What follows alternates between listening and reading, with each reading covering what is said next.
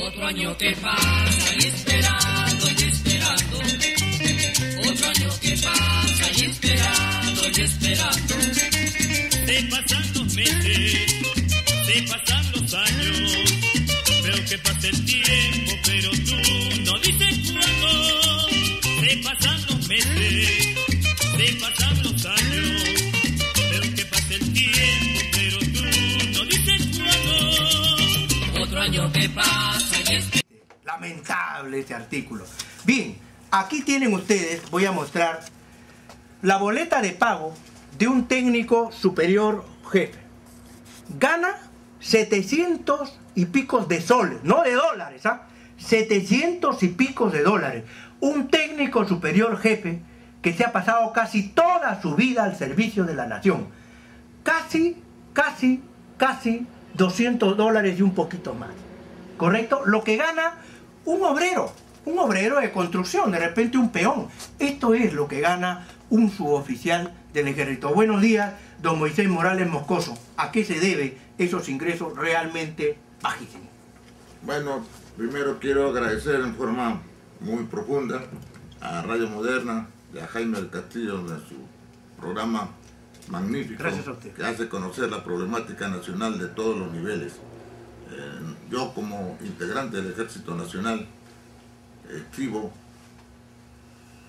documentos que son oficiales, documentos auténticos. Eso es lo que percibo líquido, porque mi, mi remuneración es 1.420 soles, pero tengo comprometido, como es normal, porque todos también tenemos algunas acciones de crédito, pero eso es lo que recibimos. Como en una sociedad de consumo, que es normal. Así es.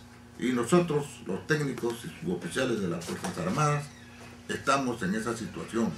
Hay colegas que reciben percibos líquidos que están por los 100 soles, debajo de los 100 soles, o hay algunos que están en 0, 0 soles. Esa es una O sea, realidad. miseria absoluta. Absoluta. Miseria absoluta. Estamos hablando de problemas dramáticos que poder con 100 soles, con 00 soles, señor presidente de la República, señor Luis Carranza, usted que entregó 19 millones de soles para el programa del CIS, así, en un santiamén lo entregó 19 millones de soles para el problema del CIS. Sin embargo, el tema de los pensionistas, hasta ahora nada.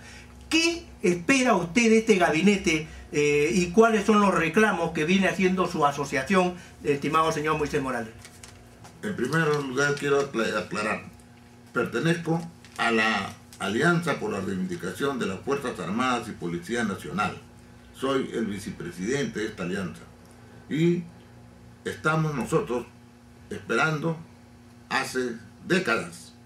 Nuestra espera no es una espera pues de años o de meses, sino de décadas de años.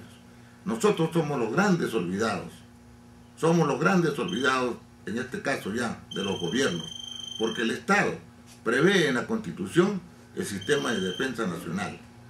El Ejército, la Marina y la Fuerza Aérea tenemos una misión que nos encarga, en este caso, la Constitución del Estado.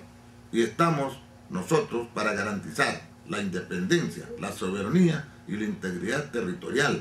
Para cumplir este cometido, nuestro trabajo es a dedicación exclusiva y a tiempo completo.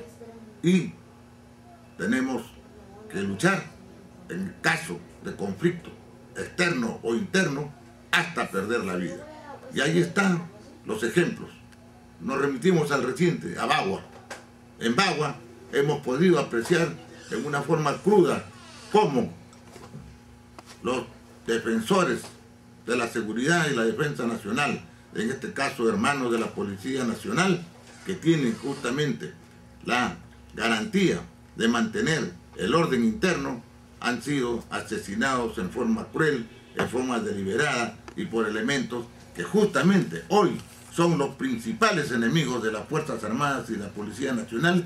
Y desde acá les decimos como siempre que nosotros tenemos pues una condición especial para defender a nuestro querido Perú porque es nuestra patria. Y los militares tenemos un, una situación tan especial por nuestra propia condición de militares. Esa es la razón de nuestra vida. y nosotros entregamos a estas Fuerzas Armadas y a la Policía Nacional todo lo mejor de nuestra vida, de nuestra juventud, hasta los años en cual ya hemos perdido una serie de facultades Correcto, para trabajar. correcto. Y el tema de la matanza de Bagua, la horrenda y besánica matanza de Bagua, que lastimosamente y curiosamente no hay nadie preso. Nadie del gobierno está enjuiciado y preso, como siempre en el Perú. Todos se pelotearon, 34 muertos, pero nadie es responsable. Ya el señor Yehude Simón está que envía puyazos a Ollantumala, lo acaban de entrevistar en el diario Perú 21, y él muy suelto de hueso, dice que va a ser el candidato, que no va a haber otro, que no sea él, el que se presente, y manda puyazos a Ollantumala, y Ollantumala también habla que que el Sendero Luminoso, que MRTA, pero lo cierto es que no hay responsables por la matanza de Bagua. Sin embargo, la ONU ha pedido, ha pedido que se investigue a profundidad el caso de la matanza de Bagua. Y que ha respondido el gobierno, ahí están las declaraciones de Javier Velázquez en Perú 21, que ya hay una comisión, pero no se sabe el nombre de ese jefe, ¿no es cierto?, o ese presidente de comisión. Ya sabremos qué sorpresita tendremos por ahí, porque como dijo Manuel Sebane, cuando no se quiere hacer nada, se forma una comisión. Entonces, las Fuerzas Armadas están en graves, en graves problemas, sobre todo el tema pensionario. Don Moisés, explíquenos, el decreto supremo 213, hasta ahora no se aplica y se ha hablado de ciertas modificaciones. ¿Qué está pasando sobre el punto? Bueno,